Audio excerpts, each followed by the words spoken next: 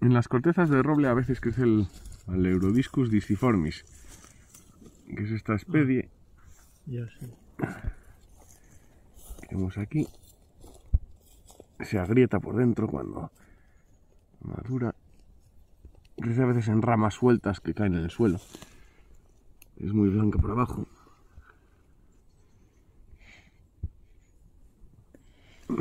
Vamos a ver de nuevo estas que están mejor iluminadas.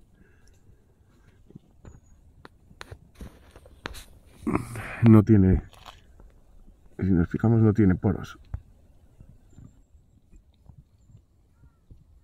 El Eurodiscus disciformis.